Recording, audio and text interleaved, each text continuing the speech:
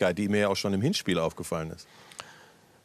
Schwer zu sagen. Ich habe nur eine interessante, äh, interessant war vor dem Spiel, als ich mir die so angeschaut habe, äh, wie die so auf dem Platz waren, wo die sich war, wie die sich warm gemacht haben. Es gibt immer so auch ein paar psychologische Faktoren, die ja m, durchaus eine Rolle spielen können. Da habe ich gedacht, die sind hier auf einem Freundschaftsspiel. Da war überhaupt, kein, überhaupt keine Anspannung. Da waren nur Späßchen, da war gar nichts. Also du hattest nicht von dieser Mannschaft das Gefühl und so hat sie auch, äh, so hat sie, so tritt sie ja letztlich jetzt auch auf. Dann lass uns mal hoffen, dass sie jetzt mit einer anderen Körpersprache zurückkommen. Vielleicht kann der Kollege Oliver Schmidt das gleich mal beobachten für uns.